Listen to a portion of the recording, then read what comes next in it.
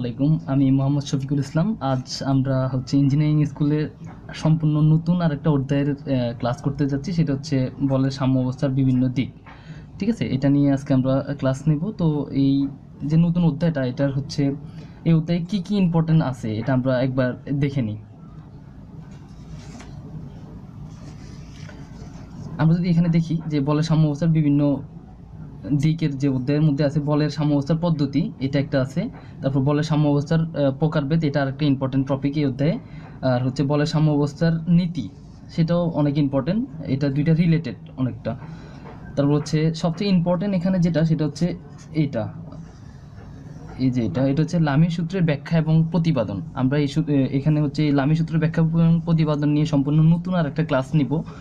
তারপরে যেটা থাকবে সেটা হচ্ছে বলে সাম্য অবস্থা নির্ণয়ের পদ্ধতি, ঠিক আছে? সেটা হচ্ছে লামি সূত্র রিলেটেড লামি সূত্র যখন আমরা বুঝতে পারব, তখন হচ্ছে বলে সাম্য অবস্থা নির্ণয়ের যে পদ্ধতি, এটা আমরা বুঝতে পারব। যখন আমরা এই দুইটা ক্লাস দেখব, তখন আমরা সরাসরি চলে আসতে পারব এই ক্লাসটাতে এটা হচ্ছে গাণিতিক সমস্যার সমাধান হবে।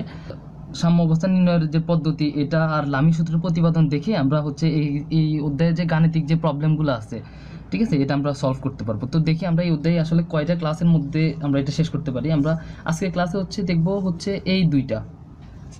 এইটা এবং এই দুইটা টপিক নিয়ে আজকের ক্লাসটাতে আমরা দেখতে পারব লেকচার দেখব আমরা। আর এরপর হচ্ছে এই, এইটা নিয়ে, বলের সাম্য অবস্থার নীতি, এটা অনেক ইম্পর্টেন্ট একটা ব্যাপার। এটা হলে, এটার জন্য আমরা নিব আরও একটা ক্লাস এই দুইটার জন্য একটা ক্লাস এটার জন্য একটা ক্লাস আর হচ্ছে তারপর থাকবে আমাদের পরবর্তী ক্লাস বা তিন নাম্বার ক্লাসে আমাদের থাকবে, সেটা হচ্ছে লামি সূত্রের ব্যাখ্যা এবং প্রতিপাদন। এটা নিয়ে আলাদা একটা ক্লাস থাকবে। সম্পূর্ণ আলাদা, খুবই ইম্পর্টেন্ট একটা ক্লাস আপনারা যারা জানেন বা যারা জানেন না, ওদের সবার জন্য বলছি, এটা হচ্ছে পরীক্ষায় আসে। ঠিক আছে? পরীক্ষায় বিভিন্ন পরীক্ষায় এটার সম্পূর্ণ প্রতিপাদনটা আসে। ঠিক আছে? যেটা রচনামূলক কোশ্চেনের মধ্যে থাকে। তো এটা অনেক ইম্পর্টেন্ট আমরা হচ্ছে চেষ্টা করব এটা সবচেয়ে সহজভাবে আপনি কীভাবে মনে রাখতে পারবেন। মানে এটা ওই ক্লাসটা যদি আপনি দেখেন, তাহলে এটা আপনার অতটা মুখস্থ করার কোনো দরকার পড়বে না। ঠিক আছে? আপনি নর্মালি হচ্ছে চিত্রটা আঁকা হবে বা যে জ্যামিতিক চিত্রটা আঁকা হবে, ওটা দেখেই আপনি পুরো ব্যাখ্যাটা সবসময়ের জন্য মনে রাখতে পারবেন। আমরাও পড়ছি অনেক আগে বাট এখন পর্যন্ত মনে আছে, ঠিক আছে? তো আমরা ওই সিস্টেমটাই আপনাদেরকে আসলে দেখাবো যে কীভাবে এটা করা যেতে পারে, যে খুব সহজে এই প্রতিপাদনটা মনে রাখতে পারেন। এরপরের ক্লাসটাতে থাকবে এইটা। এটা নিয়ে থাকবে আমাদের একটা ক্লাস যে ব্যাখ্যা নিয়ে এটা একটা ক্লাস থাকবে। আর এরপর ক্লাসে থাকবে হচ্ছে সাম্য অবস্থার, সাম্য অবস্থা নির্ণয়ের যে পদ্ধতি, এটা এবং একটা কিছুটা ম্যাথ এই দুইটা নিয়ে থাকবে আমাদের হচ্ছে তিনটা ক্লাস হ্যাঁ। এটা নিয়ে আমার থাকবে তিনটা ক্লাস তাহলে মোট কয়টা ক্লাস হলো? একটা, দুইটা, তিনটা, আর এই হচ্ছে তিনটা। এই পুরো চ্যাপ্টারটা নিয়ে আমরা ক্লাস নেব হচ্ছে ছয়টা। আর এই ছয়টা ক্লাসের ভিডিও আপনি ইঞ্জিনিয়ারিং স্কুলে পরপর পেয়ে যাবেন। এই ছয়টা ক্লাসের ভিডিও আমরা এই উইকের মধ্যে ইনশাল্লাহ শেষ করব। তো হচ্ছে যারা এই এই চ্যাপ্টারটা নিয়ে প্রবলেমে আছেন বা এই চ্যাপ্টারটা এখন পর্যন্ত ধর- ধরেন নাই বা পড়া শুরু করেন নাই, তাদের জন্য এই ভিডিওগুলো খুবই হেল্পফুল হবে। ঠিক আছে? দ্যাটস ওয়াই নিয়মিত ভিডিওগুলো দেখবেন। আর যদি কোনো ভিডিও দেখতে আপনার প্রথমবারে বুঝতে যদি প্রবলেম হয়, যেহেতু ইঞ্জিনিয়ারিং ব্যাপার, প্রথমবারে বুঝতে একটু প্রবলেম হওয়াটাই খুব স্বাভাবিক। ঠিক আছে? তো বারবার ভিডিওগুলো দেখবেন। ঠিক আছে, দেখলে হচ্ছে কি আপনি নিজে থেকেই বুঝতে পারবেন আসলে। ঠিক আছে, তো আর কথা না বাড়িয়ে আমরা আজকের লেকচারে চলে যাই। আজকের লেকচার হচ্ছে এই দুইটা নিয়ে। বলের বিভিন্ন পদ্ধতি আর হচ্ছে বলের সাম্য অবস্থার প্রকারভেদ। ঠিক আছে? তো ক্লাসটা শুরু করার আগে আমার যে ইঞ্জিনিয়ারিং স্কুলের যে ফ্রেন্ডরা আছেন বা মেম্বাররা আছেন, তাদেরকে বলব যে বা যারা আজকে প্রথম ভিডিওটা দেখতেছেন, তাদেরকে বলব যে আমাদের এই যে চ্যানেলটা সাবস্ক্রাইব করে রাখুন প্লিজ ঠিক আছে সাবস্ক্রাইব করে রাখার পরে হচ্ছে দেখবেন যে এরকম একটা এই যে অনেকটা এরকম একটা বেল বেল বাটন আসবে। ঠিক আছে বেল বাটনটাতে আপনি যদি ক্লিক করে রাখেন, আপনি একটা সুবিধা পাবেন এক্সট্রা যেটা হয়তো অন্যরা পাবে না। এই সুবিধাটা হচ্ছে যে আমরা যখনই ভিডিওটা আপলোড করব, তখনই সাথে সাথে আপনার মোবাইলে একটা নোটিফিকেশান চলে যাবে। আপনার মোবাইলে কী হবে? একটা নোটিফিকেশান চলে যাবে যে আমরা ইঞ্জিনিয়ারিং স্কুলে একটা ভিডিও আপলোড করছে, এরকম একটা নোটিফিকেশন চলে যাবে। তো সাথে সাথে আপনি কী করতে পারেন? সবার আগে ভিডিওটা দেখে নিজে নিজে প্র্যাকটিস করতে পারবেন। সবার কাছে কুল হয়ে যেতে পারবেন। ঠিক আছে? তো ভিডিওটা যখন আপনি দেখবেন বা দেখতে থাকবেন, তখন হচ্ছে আপনার তিনজন অনলি তিনজন প্রিয় মানুষের কাছে। ঠিক আছে? তিনজন প্রিয় মানুষের কাছে এক, দুই, এই তিনজন প্রিয় মানুষের কাছে ভিডিওটা শেয়ার করে দেবেন। ঠিক আছে? এই ভিডিওটা আপনি তিনজন প্রিয় মানুষের সাথে যখন শেয়ার করে দিবেন, ওরাও দেখল, হচ্ছে এই ভিডিওটা শেয়ার করে নিজেদের মধ্যে, তাহলে আপনারা নিজেরাই বুঝতে পারবেন। আসলে আমাদের মেন উদ্দেশ্যটা হচ্ছে, আমরা যে ইঞ্জিনিয়ারিংয়ের সাবজেক্টগুলো আছে, এগুলোকে কত সহজে আপনাদের কাছে উপস্থাপন করা যায়, বা আপনারা কত সহজে এটা বুঝতে পারেন। এটাই হচ্ছে আমাদের এটা ফুটাই তোলাটাই হচ্ছে আমাদের মেন উদ্দেশ্য। তো আজকে চলে যাই আজকে ক্লাসে বিসমুল্লাহ রহমান রহিম। বলের সাম্য অবস্থার বিভিন্ন দিক। আমরা বল বলতে নর্মালি যেটাকে বুঝি সেটা হচ্ছে বর ইন্টু ত্বরণ। ঠিক আছে? এটা। তো বলের সাম্য অবস্থা বলতে আমরা নর্মালি কি বুঝি? কোনো বস্তুর উপর ক্রিয়াশীল বলগুলোর লব্ধি শূন্য হলে। ঠিক আছে বন্ধু? কোনো বস্তুর উপর সাপোজ একটা বস্তু আছে এর উপর আপনি অনেকগুলো বল দিলেন। ঠিক আছে? সাপোজ এরকমই একটা বস্তু, এই একটা বস্তু। এই বস্তুটার উপর আপনি এদিক থেকে বল দিলেন এদিক থেকে বল দিলেন ঠিক আছে, এই দুইটা বলের লব্ধি যদি শূন্য থাকে, এই দুইটা বলের লব্ধি যদি শূন্য হয়, তাহলে এই বস্তুটা কি থাকবে? ওর জায়গায় স্থির থাকবে। ঠিক আছে, এটাই হচ্ছে আসলে বলের সাম্য অবস্থার মেন কথা বা ওদের মেন কন্টেন্টটাই হচ্ছে এটা। এখানে এটাই বোঝানো হচ্ছে যে কোনো বস্তুর উপর ক্রিয়াশীল বলগুলোর লব্ধি। লব্ধি মানে হচ্ছে দুইটা বলের যোগফল বা যতগুলো বল ওখানে প্রয়োগ করা হবে, তার একটা যোগফল। ঠিক আছে লব্ধি যদি শূন্য হয়, তাহলে বলের এরূপ অবস্থাকে বলের সাম্য অবস্থা বলব আমরা। ঠিক আছে, তো আশা করি বুঝতে পেরেছেন বলের সাম্য অবস্থাটা আসলে কি। মানে জাস্ট একটা বস্তু স্থির রাখার যে প্রক্রিয়াটা, ঠিক আছে? বা একটা বস্তু হচ্ছে গতিশীল রাখার যে প্রক্রিয়াটা, ঠিক আছে? মানে একই রকম, বস্তুটা গতিশীল থাকলে গতিশীল আর স্থিতিশীল থাকলে স্থিতিশীল থাকার যে প্রক্রিয়াটা, এটা একটা নিউটনের সূত্রের মধ্যে এটার ব্যাখ্যাটা আছে। যে প্রক্রিয়াটা এটাই আসলে বলের সাম্য অবস্থা, ঠিক আছে? তো এখন আমরা চলে যাব হচ্ছে আমাদের দ্বিতীয় যে টপিক সেটা হচ্ছে বলের বিভিন্ন পদ্ধতি।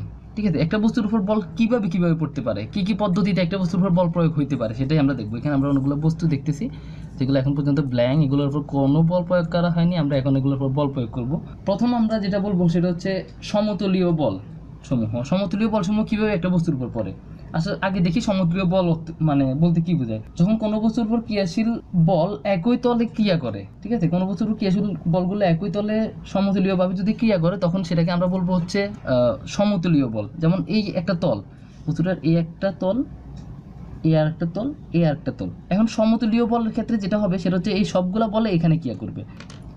সমতুল্য বলের ক্ষেত্রে এই সবগুলো বলই একদিকে ক্রিয়া করবে, এই যে এরকম। ঠিক আছে? তাহলে এটা হচ্ছে, আমরা বলব এটাকে কি এটা হচ্ছে সমতুলীয় বল। এটা হচ্ছে সমতুলীয় বল। এরপর আমরা দেখব হচ্ছে অসমতুলীয় বল। ইন্টারেস্টিং এটা এটা এটা আর এটা দুইটা সম্পূর্ণ বিপরীত, ঠিক আছে? সম্পূর্ণ বিপরীত ব্যাপার। এটা হচ্ছে সমতুলীয় বল, এটা হচ্ছে অসমতুলীয়। তাহলে বুঝতে পারতেছেন অসমতুলীয় বল কেমন হতে পারে? অসমতুলীয় বল হচ্ছে যে ওই, এই বস্তুটার উপর যে বলগুলো পড়বে, সেগুলো একটা তলের মধ্যে সীমাবদ্ধ না। একটা বল এক এক দিকে। যেমন এই একটা তল, এদিকে একটা বল এদিকে যাচ্ছে। এই দিকে বলটা এদিকে যাচ্ছে, এদিকের বলটা আবার এদিকে পড়তেছে, ঠিক আছে? তাহলে হচ্ছে কি এক একটা বল এক এক দিকে পড়তেছে। তাহলে কি হলো এটা? এটা হচ্ছে অসমতুলীয় বল। এরপর আমরা যেটা দেখব, এটা হচ্ছে অসমতুলীয়।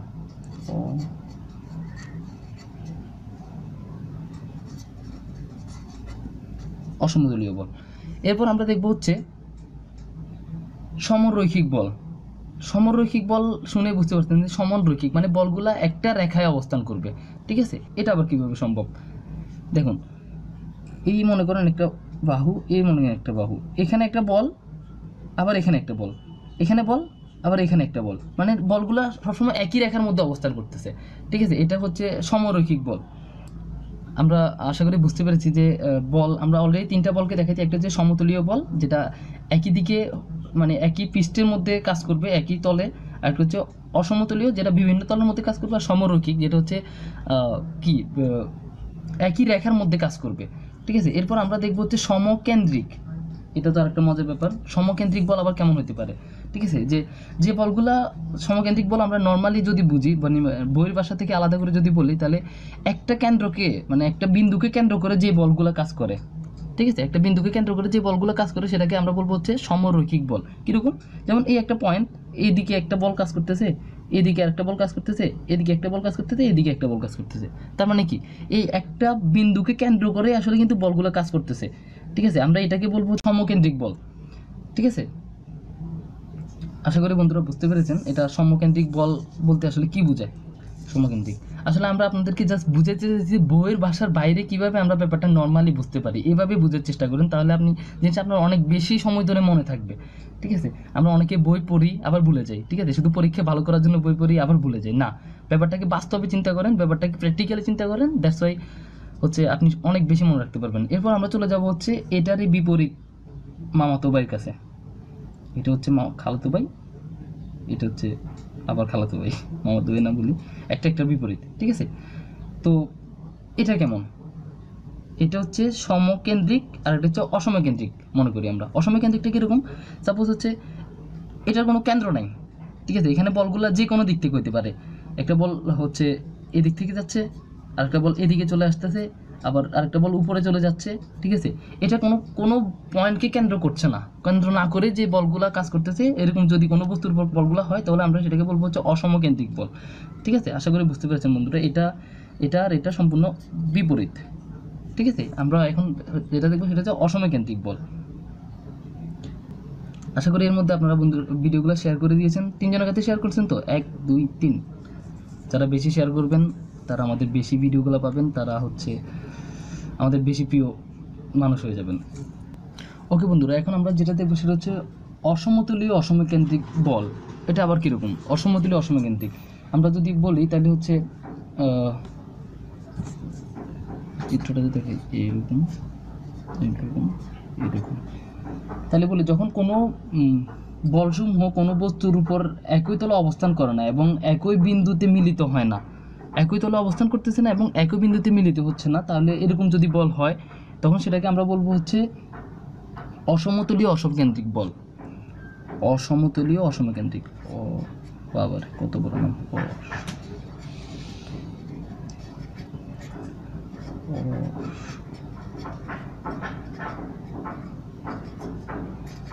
অ- অসমকেন্দ্রিক বল। আচ্ছা এরপর হচ্ছে আমরা আরও দুটি বল সম্পর্কে জানব। সেটা হচ্ছে সমান্তরাল বল। যখন কোনো বস্তুর উপর দুই বা ততাধিক বল এমনভাবে কাজ করে যে এদের ক্রিয়া রেখা পরস্পর সমান্তরাল, তখন তাকে আমরা কি বলব? সমান্তরাল বল। ঠিক আছে, যখন কোনো বস্তুর একাধিক বল একাধিক বল আমরা আঁকি, এই যে, মনে এই একটা বল এই একটা বল এই একটা বল এই একটা বল, ঠিক আছে? এই সবগুলা বল একই সমান্তরালে কাজ করতেছে এই যে একই সমান্তরালে যদি কোনো বস্তুর উপর কাজ করে, তখন আমরা সেটাকে বলব হচ্ছে সমান্তরাল বল।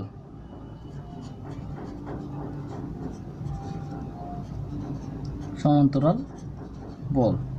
ঠিক আছে? এখন সমান্তরাল বলের একটা বিপরীত ভাইও আছে, এইটা, এই মিস্টার। ইনি হচ্ছে অসমান্তরাল বল। যখন আমরা নর্মালি যদি বলি এরকম হবে, যখন হচ্ছে কোনো বস্তু পৃষ্ঠের মধ্যে একাধিক বল অসমান্তরালভাবে যদি ক্রিয়া করে, যেমন একটা এখান থেকে ক্রিয়া করতেছে? আর একটা এই দিক থেকে এখানে। অন্যটা এই দিক থেকে এখানে ক্রিয়া করতেছে? দেখেন, এটা একই সরল রেখায় নাই নর্মালি ঠিক আছে? এটা একই সরল রেখায় নাই। তাহলে আমরা এটাকে কি বলব? এটাকে বলব হচ্ছে অসমান্তরাল বল। অসমান্তরাল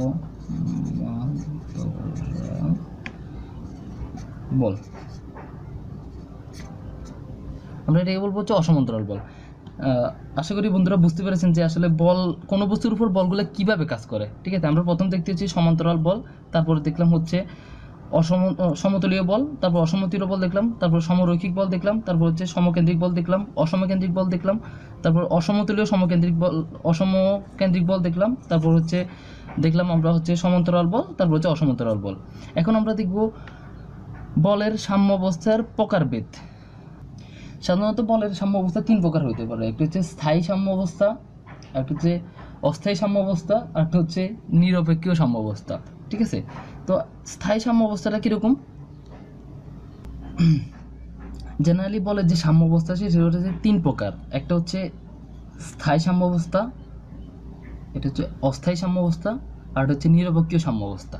ঠিক আছে? তো আমরা দেখব এগুলো আসলে এটা তো বুঝলাম যে তিন প্রকার। তাহলে এটা কীভাবে কি? কীভাবে বুঝব আমরা? কীভাবে মনে রাখব আমরা? স্থায়ী সাম্য অবস্থা।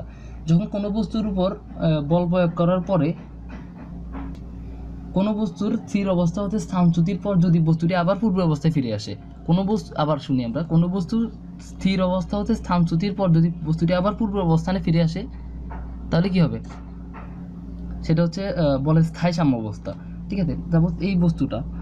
এই বস্তুটার মধ্যে আমরা যদি বল প্রয়োগ করি, তারপর এদিকে বল প্রয়োগ করলাম, বস্তুটি হচ্ছে এদিকে আসলো, এখানে আসলো। এখান থেকে আবার কি করল, যেহেতু এইটা বক্র রেখা বা বক্রপথ, তো আবার কি করল, বস্তুটি আবার পূর্ব অবস্থায় চলে গেল, এখানে।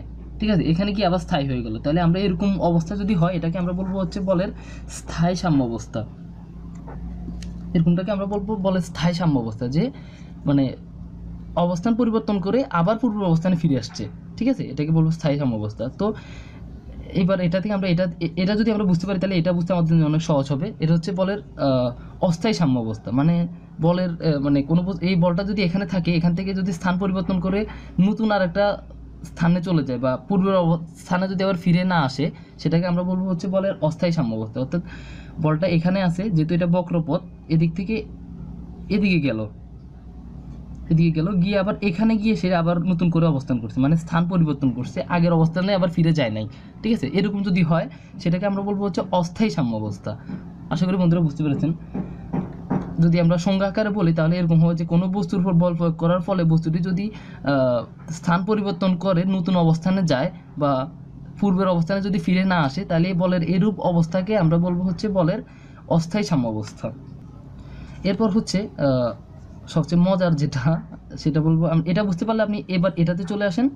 এটা হচ্ছে নিরপক্ষীয় সাম্য অবস্থা অর্থাৎ এটার হচ্ছে সমতলীয় রেখার মধ্যে বলটা হয়, অর্থাৎ কোনো বস্তুর স্থির অবস্থা হতে স্থানচ্যুতির পর নতুন অবস্থায় স্থির থাকলে, কোনো বস্তু স্থির অবস্থা থেকে স্থানচ্যুতির পর যদি নতুন অবস্থায় স্থির থাকে, তখন আমরা সেটাকে বলব কি?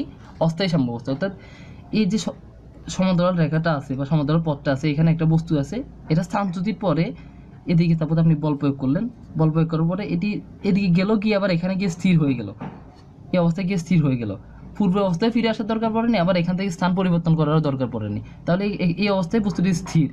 ঠিক আছে? অর্থাৎ এটি যেখানেই আপনি নেবেন, ওখানে স্থির থাকবে। যেখানেই রাখবেন, সেখানে স্থির থাকবে। এরকম সমতুল্য সমান্তরাল রেখার মধ্যে। ঠিক আছে? তাহলে এরকম অবস্থাকে আমরা কি বলব? এরকম অবস্থাকে বলব হচ্ছে বলে নিরপেক্ষীয় সাম্য অবস্থা আশা করি বন্ধু বুঝতে পারছেন তিন প্রকার সাম্য অবস্থা কীরকম? একটা হচ্ছে কি, আমরা আবার দেখি, এটা হচ্ছে স্থান পরিবর্তন করার পরে, বলটি স্থান পরিবর্তন করার পরে আবার আগের অবস্থানে ফিরে যায়। ঠিক আছে, এটা হচ্ছে স্থায়ী সাম্য অবস্থা এটা হচ্ছে কি? স্থান পরিবর্তন করার পরে আবার নতুন অবস্থানে ফিরে যাবে না। ঠিক আছে, সে নতুন অবস্থানে ফিরে যাবে না, এরকম যদি হয়, সেটা হচ্ছে অসমতুলীয় সাম্য অবস্থা সরি অস্থায়ী সাম্য অবস্থা আর এটা হচ্ছে সম্পূর্ণ আলাদা, অর্থাৎ এটার যে কোনো জায়গায় এটা স্থির থাকতে পারে। এখানে এদিক থেকে বল প্রয়োগ করলে এখানে গিয়ে স্থির থাকবে, আবার যদি এদিক থেকে বল প্রয়োগ করেন, এদিকে এসে কোনো একটা জায়গায় স্থির থাকবে, ঠিক আছে? এটা হচ্ছে নিরপেক্ষীয় সাম্য অবস্থা। তাহলে তিন প্রকার আমরা সাম্য অবস্থা সম্পর্কে জানলাম। এরপরের অধ্যায়ে আমরা পরের যে ভিডিও এটাতে দেখতে পারব বলে সাম্য অবস্থার যে নীতি। সেটা দেখতে পারব, আর আর হচ্ছে লামি সূত্রের প্রতিপাদন দেখতে পারব আমরা।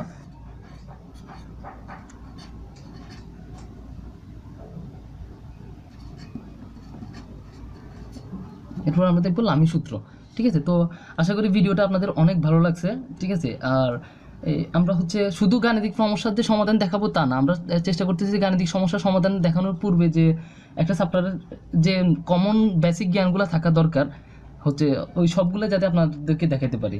মানে সহজ কথায় যদি বা বলতে যাই, তো আপনি প্রথম দিনে তো ন্যাশনাল টিমের প্লেয়ার হয়ে যেতে পারবেন না নাকি? দ্যাটস ওয়াই সবগুলো বোঝার পরে আমরা গাণিতিক সমস্যাতে যাব। গাণিতিক, এই চ্যাপ্টারের গাণিতিক সমস্যা নিয়ে আমরা তিনটা ক্লাস থাকবে, এটা আগে আমরা বলছি। তো হচ্ছে যারা এই সবগুলো ক্লাসই আবার পেতে চান, তাহলে তারা হচ্ছে আমাদের এই চ্যানেলটাতে আবারও বলতেছি সাবস্ক্রাইব করে রাখুন আমাদের ইঞ্জিনিয়ারিং স্কুলে প্লাস আমাদের ভিডিওগুলো শেয়ার করুন, ঠিক আছে? বন্ধুদের মধ্যে শেয়ার করুন বা আপনার প্রিয় মানুষ যদি থাকে, প্রিয়তমা যদি থাকে আর কি। প্রিয়তমাদের কাছে শেয়ার করে দিন, তাহলে আপনার সাথে সাথে ও খুব তাড়াতাড়ি বুঝতে পারবে। একটু মজা করলাম ডোন্ট মাইন্ড না। ধন্যবাদ। সালামু আলাইকুম।